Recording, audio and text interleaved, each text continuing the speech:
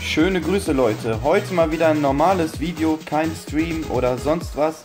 Ich bin natürlich nicht faul geworden und mache jetzt nur noch Streams, sondern ja, ich schneide auch noch Videos und so weiter. Natürlich bleibt der Kanal so erhalten, wie es ist. Es haben sich einige Sorgen gemacht, da ich nur noch Streams mache und die nicht ankündige. Nein Leute, diese Woche erwarten euch auch einige Videos. Ihr habt es ja wahrscheinlich schon gesehen, Gilden Showdown ist wieder da, danach ein Bezirkswunder, kommt immer Battle Royale und so weiter und so fort. Heute geht es natürlich ums Gilden-Event. Wundert euch nicht, warum ich aussehe wie ein misshandeltes Eichhörnchen. Schöne Grüße an dich, Jonko Bull. Ich habe eine Wette verloren, so sieht man aus, wenn man ja, Dortmund-Fan ist und gegen einen Bayern-Fan wettet. Dann hat man keine Haare mehr auf dem Kopf. Aber darum soll es natürlich heute nicht gehen. Ich will mir mit euch natürlich unser Gilden-Event-Ergebnis angucken. Dann werden wir uns die ganzen Sachen einsammeln. Dann habe ich auch noch zwei Pakete gekauft, denn hier nach dem KVK musste ich hier einiges an Macht wieder nachholen. Da bin ich gerade bei. Die Pakete können wir uns mal kurz anschauen, die ich mir gekauft habe. Ich habe mir einmal für 21,99 Euro, das ist aber allerdings schon ein paar Tage her, wie ihr sehen könnt, habe ich mir dieses Beschleuniger-Paket hier geholt. Mit den heiligen Sternen, die ich auch für das Gilden-Event gebraucht habe. Da ich so schlau war und eine Quest angenommen hat, wo zweimal der Labyrinth-Boss kommen muss. Und nach 25.000 heiligen Sternen kam der einfach nur einmal. Deswegen musste ich mir dieses Paket sogar kaufen, sonst hätte ich eine Quest verkackt. Aber wie ihr sehen könnt, hier sind einiges an Kisten drin. Und die werden wir natürlich auch gleich öffnen, nachdem wir die Gildengeschenke eingesammelt haben. So, und dann habe ich mir natürlich hier diese, Dis diese Glückskiste gekauft. Vielleicht kriege ich ja 100k heilige Sterne oder Steine, wie, wie ihr die auch immer schimpfen wollt. Dann können wir vielleicht auch noch ein bisschen Labyrinth machen. So, ich hoffe, das funktioniert hier mit der Aufnahme. Das ist ja hier so ein anderes Aufnahmeprogramm. Und damit ich auch hier mit Facecam machen kann. Aber das sieht ganz gut aus. So, wir schauen uns mal an, wie weit wir gekommen sind, Leute. Wir haben wieder mal unsere Bestleistung geknackt. Letzte Mal hatten wir ja, glaube ich, 116.800 Punkte.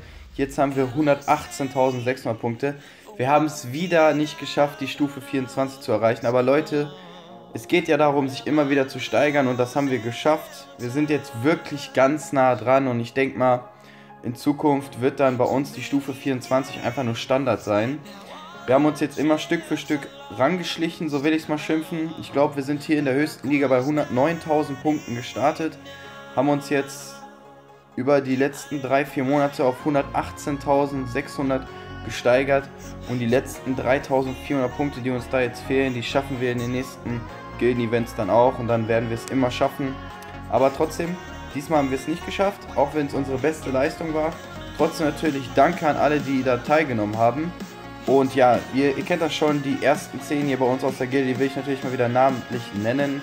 Holgi, einfach mega krass, Digga. Du hast einfach alles zerstört. Hier 2072 Punkte, Leute, das müsst ihr euch mal vorstellen. Einfach mit jeder Quest über 200 Punkte geholt. Das ist schon richtig heftig. Und das ist jetzt auch kein richtig heftiger Cash-Player oder sowas, der jetzt irgendwie 700 Millionen Macht hat, sondern ich glaube, der liegt so bei 110 Millionen Macht oder so. Also es ist schon eine richtig krasse Leistung.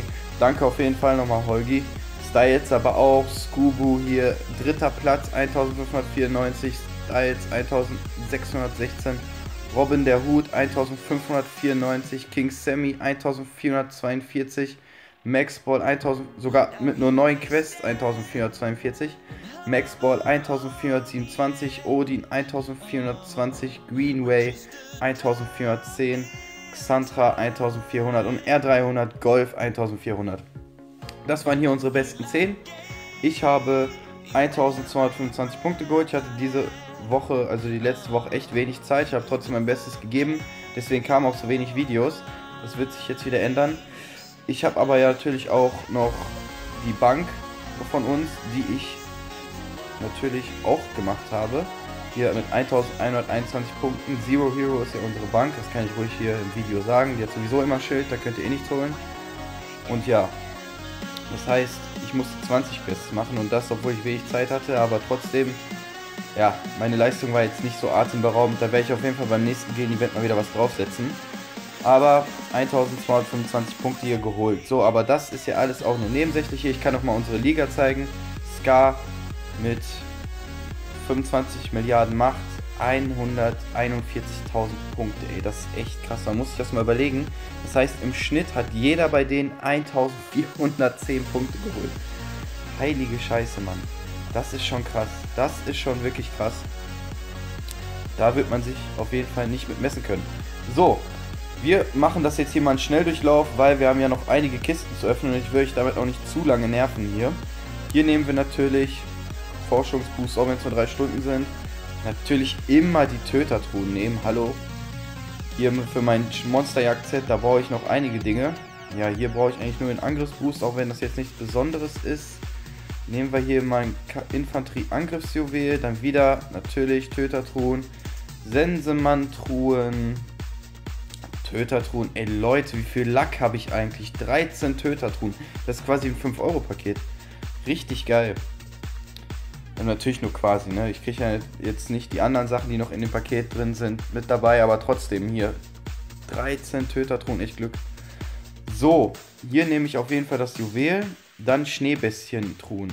Ich bin echt bald kurz davor, meine Schneebestien-Handschuhe auf lila zu kriegen. Deswegen hier ganz wichtig die Truhen nehmen. Hier nehme ich nochmal das Infanterie-Angriffsjuwel oder Fernkampf-Angriffsjuwel. Ich nehme mal Fernkampf-Angriffsjuwel.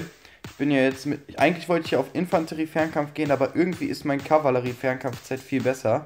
Deswegen brauche ich jetzt hier mehr Fernkampf-Juwelen, damit ich das Set noch weiter ausbauen kann.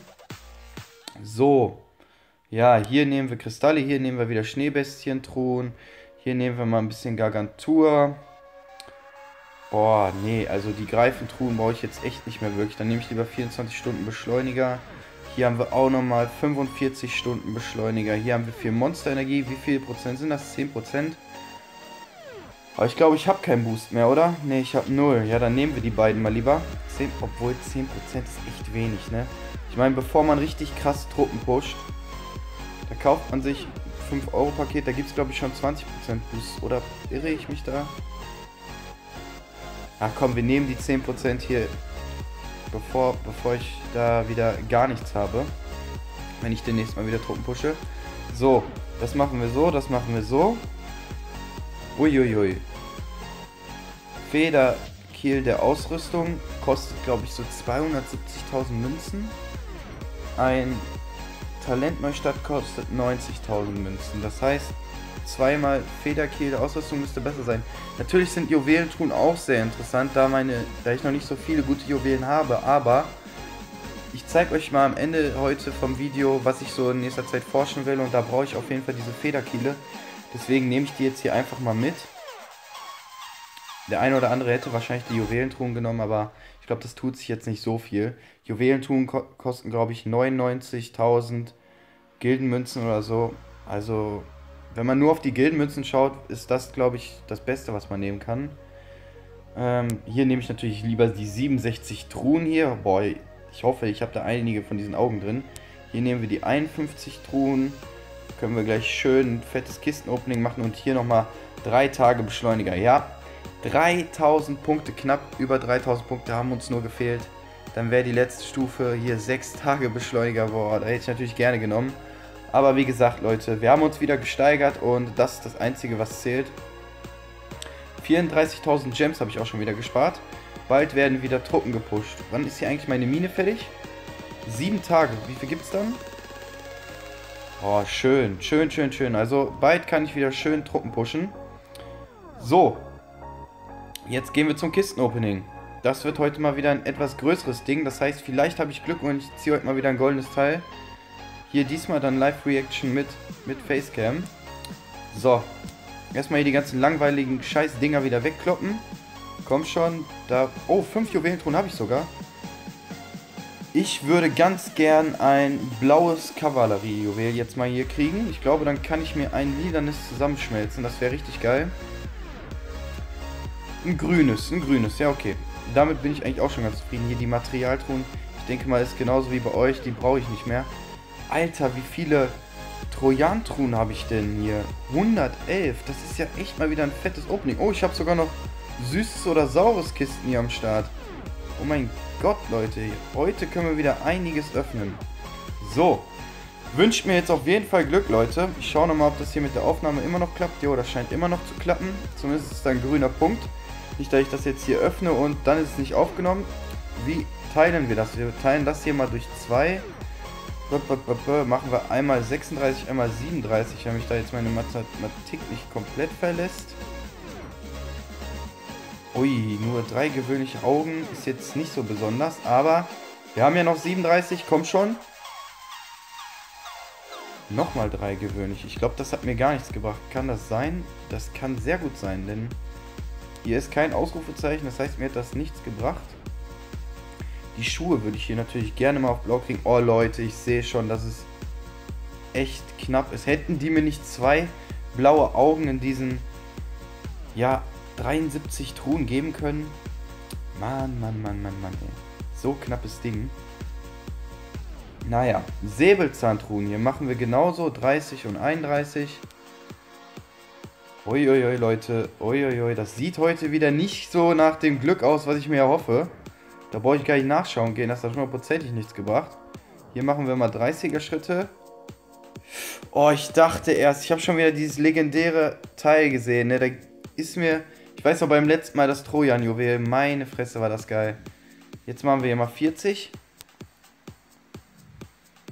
Boah, ich sehe die ganze Zeit diese epischen Sachen und frage mich dann selber so, Mann, ist das jetzt ein seltenes Teil? Nein, leider nicht. Antike Blaupause hier zweimal. Komm schon, jetzt 41. Bitte wenigstens ein episches. Oh, Leute, Mann. Das ist echt nicht so, wie ich mir das vorgestellt habe. Aber egal, egal. Auch Kleinvieh macht auch Mist. Auch die kleinen Sachen hier, diese gewöhnlichen Sachen. Irgendwann werden die mal zu blauen Sachen und irgendwann dann mal zu lilanen Sachen. Was fehlt mir denn hier eigentlich noch so? Zack. Zack, ja, okay. Hier fehlen mir noch zwei epische.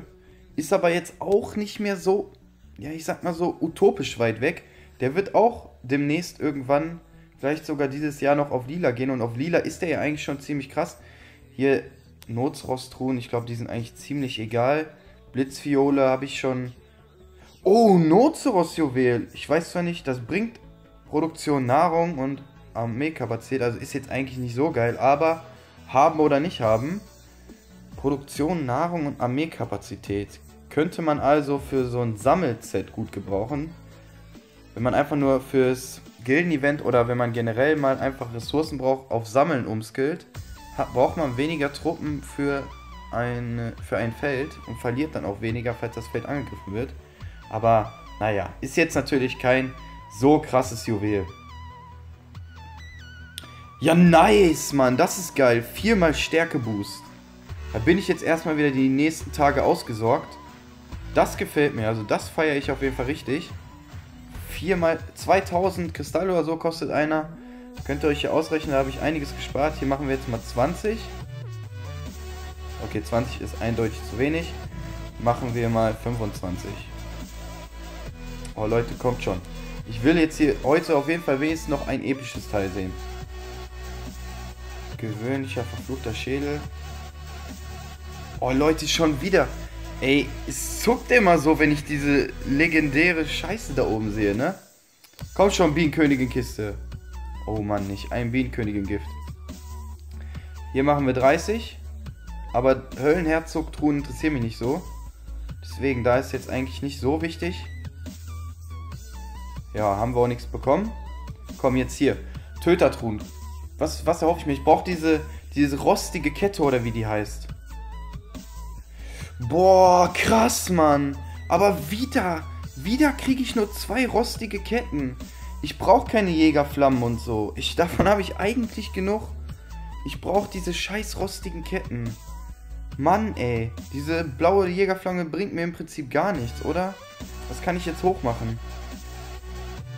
Ah, doch, doch, doch, doch, doch. Oh, schönes Ding. Ich kann hier mein letztes Teil, was auf grau war, jetzt endlich hier auf grün machen. Schönes Ding. Das ist richtig nice.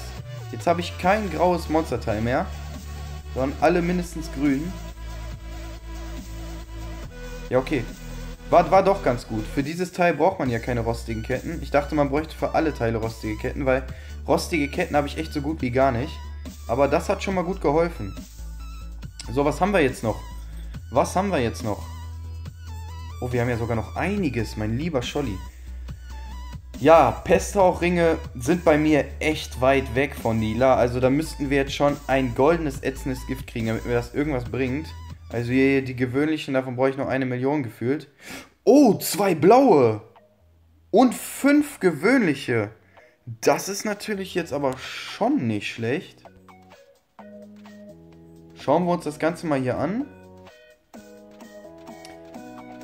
Ähm, ja. Ist immer noch weit weg, aber 3 von 7 jetzt. Fast die Hälfte schon mal. Für einen lilanen Pesthauchring dann. Der Pesthauchring, der hat schon gute Juwelen hier auch bei mir. Zumindest akzeptable Juwelen. Wenn der dann auf lila geht, ist das schon eigentlich nicht verkehrt. Geil. Also das war schon mal nicht schlecht. Bonviante. Ah, eine gewöhnliche leuchtende Gloriole. Was machen wir hier? Machen wir mal erstmal 20. Machen wir nochmal 20 kommen und dann hauen wir die 27, die letzten durch. Boah, ich weiß, mit Gargantua-Augen habe ich auch seit Monaten kein Glück mehr. Also, ihr seht es, ich glaube, ich glaube meine, meine Angsttrommel ist seit vier Monaten noch blau oder so. Und man braucht ja nur eine. Ne, ist ja jetzt nicht so, oh Leute, guck mal an, wie knapp das ist. Ey, kurz davor wirklich die auf lila zu kriegen. Naja. Haben wir gerade das Gargantua-Set im Shop? Dann würde ich mir das jetzt vielleicht sogar gönnen, damit ich die Kacke endlich auf lila habe. Äh, nee, haben wir nicht. Okay. Ja gut, dann muss ich mit der Angsttrommel auf lila noch warten. Die kloppen wir jetzt komplett durch. Komm schon. Gib mir da mal... Also ich habe noch nie etwas Höheres gezogen als eine grüne Terradorn-Saat. Und ja, jetzt habe ich einfach mal 40 Geine gezogen. Kann man mal machen. Okay, Lindwurmtruhen, da bin ich echt der größte Lacker überhaupt. Da habe ich schon zwei goldene gezogen. Da bin ich also erstmal ausgesorgt. Boah, zwei goldene Teile, Mann. Da hätte doch jetzt... Ah, nee, komm. Jadekugeln, da darf ich mich nicht beschweren. Da habe ich schon so viel Glück hier in Mobile gehabt. Glänzende Perle, ja, davon schmiede ich momentan eh nichts, also ist das egal. Hier die Greifentruhen können wir auch durchkloppen. Die interessieren mich auch nicht so sehr. Haben wir ein grünes Greifenjuwel gehabt? Joa.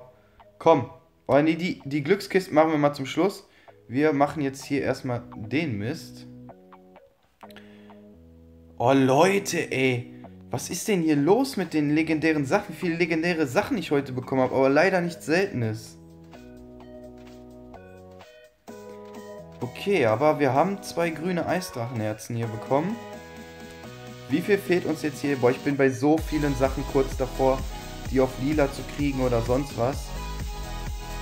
Aber das Eisdrachenschwert, das braucht glaube ich noch ein bisschen bei mir.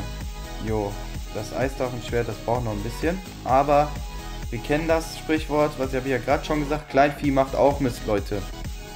So, jetzt wird es interessant, denn es fehlt mir nur eine epische Glocke für Winterhandschuhe auf lila. Oh. Eine grüne, okay. Was mache ich hier?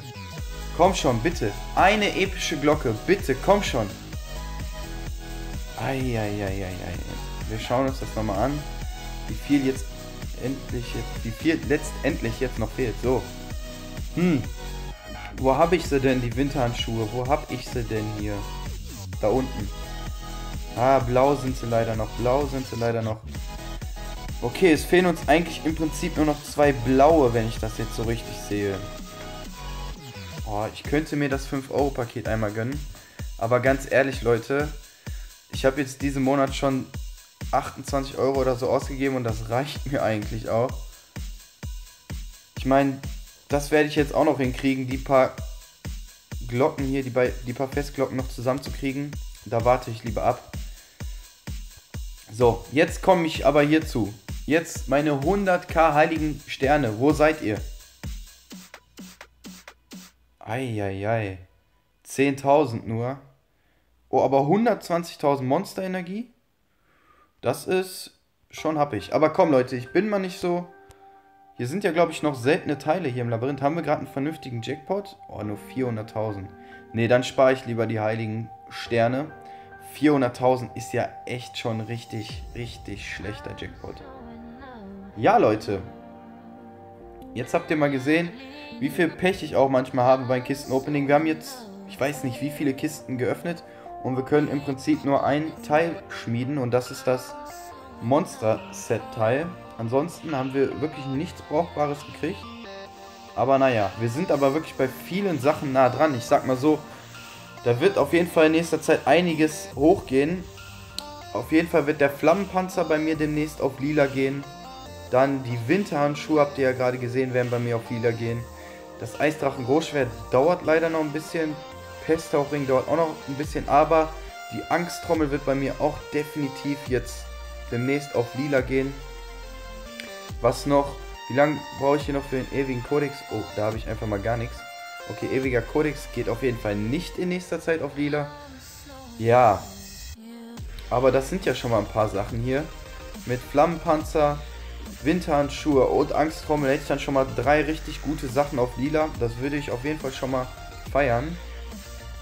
So, aber ich wollte euch ja noch zeigen, was ich jetzt hier in nächster Zeit machen möchte auf diesem Account. Damit ihr da so ein bisschen Update habt. Seit dem KVK kam ja nichts mehr zu dem Account. Ich habe einiges geforscht. Und zwar bin ich jetzt hier dabei. Ihr seht ja auch schon, hier habe ich alles auf 7. Hier habe ich alles auf 6. Hier habe ich sogar Trainingstempo 10 schon fertig. Gibt einfach mal 24% mehr Trainingstempo. Leute, macht das auf jeden Fall. Jetzt mache ich hier gerade Kasernenerweiterung auf 10 ist jetzt eigentlich nichts so krasses, diese Kasernenerweiterung, aber man muss es halt machen, denn ich möchte unbedingt schneller Wechsel auf 5 haben.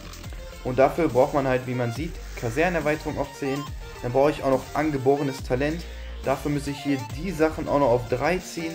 Und dafür wiederum brauche ich größere Armee auf 1. Ja, geht ja nur auf 1. Also einfach größere Armee ge geforscht. Ja, Leute, das wird auf jeden Fall noch dauern.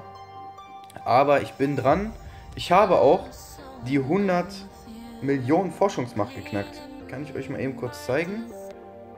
Hier, 102 Millionen Forschungsmacht habe ich jetzt. Schreibt mir mal in die Kommentare, wie viel Forschungsmacht ihr habt. Und, was ich auch noch sagen möchte, schickt mir bei, Entschuldigung, schickt mir bei Line oder bei Facebook einen Screenshot von eurer Gildenleistung. Das heißt, ihr macht einfach einmal einen Screenshot von dem hier, wo man einfach sieht, welche Platzierung man oder welche Platzierung eure Gilde hat und wie viele Punkte ihr geholt habt. Und dann macht vielleicht auch mal einen Screenshot, wenn ihr Bock habt, müsst ihr aber nicht, von eure Top 9 hier. Also genau so wäre das. Und dann werde ich das auf meiner Facebook-Seite posten. Da will ich jetzt wieder aktiver werden. Das habe ich in den letzten anderthalb Wochen ein bisschen schleifen lassen. Da will ich eigentlich so alle zwei Tage was posten. Da sind wir auch mittlerweile schon fast 200 Leute. Und das, obwohl ich da ziemlich inaktiv war. Vielen Dank auf jeden Fall für den Support, Leute. Wie gesagt, in nächster Zeit erwarten euch wieder mehr Videos und natürlich trotzdem auch Livestreams. Vielleicht werde ich den Gilden Showdown live streamen, aber ich werde auf jeden Fall wieder ein Video dazu machen. Dann kommt ja auch immer nach den, ich habe schon am Anfang gesagt, nach den Baronschlachten, Wunder, nicht Wunderschlachten, wie heißen die jetzt nochmal? Battle Royale, da kommt nach den Baronschlachten auch immer Battle Royale, also es erwarten uns einige Sachen in nächster Zeit. Und ich will demnächst auch ein Video machen über das kommende Update ähm, im Dezember, Leute. Es erwartet uns ein richtig fettes Update. Da geht es um Monster-Themen. So viel will ich schon mal dazu sagen. Ich denke mal, viele von euch haben es auch schon auf der Facebook-Seite von Lords Mobile gelesen. Da bin ich auf jeden Fall sehr gespannt, denn das ist wieder so ein Update wie bei den Dunkelnestern, was wirklich sehr früh angekündigt ist. Das ist schon seit sechs Wochen angekündigt und kommt erst in vier Wochen. Das heißt, die arbeiten da schon jetzt sehr, sehr lange dran. Da erwartet uns, glaube ich, ein sehr, sehr großes Update mal wieder. Nicht irgendwie sowas Kleines, wo einfach nur Bookskins erneuert werden oder so. Oder ein neuer Heldenfahrt-Modus. Sondern ich glaube, da kommt was Großes auf uns zu. Und da will ich separat nochmal ein Video zu machen. Also seid da gespannt. Ich werde natürlich auch wieder jetzt angreifen gehen, wenn ich diese 34.000 Kristalle in Truppen geballert habe. Jetzt habe ich euch genug voll gelabert. Wie gesagt, schreibt mir in die Kommentare, wie viel Forschungsmacht ihr habt und ja, wie das Gilden-Event bei euch war und schickt mir eure Screenshots. Dann poste ich die bei uns auf der Facebook-Seite, beziehungsweise auf der Facebook-Seite von App Gaming. Und ja, könnt ihr ein bisschen Werbung für eure Gilde machen. Vielen Dank, dass ihr zugeschaut habt und bis die Tage, Leute. Viel Spaß noch beim Lots Mobile Zocken und haut da rein.